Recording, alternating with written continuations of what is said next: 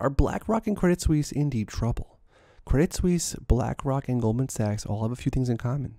They are all financial institutions which have some investors very worried as more and more rumors surface about a possible unstable market and problems ahead.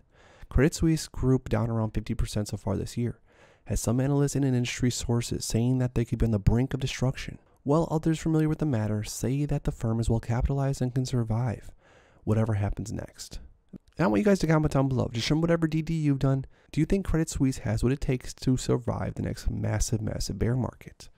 The broader market conditions are seeming to be generally improving as of the last few days, although the entire market has already taken a massive, massive hit and things are only getting worse. The other day we saw that America's gross national debt has now exceeded 31 trillion for the first time ever. Guys, 31 trillion. Data like this coming out on the daily now, it almost seems, has the general public very, very worried about the biggest institutions in the world, not to mention the leverage these institutions are holding on to.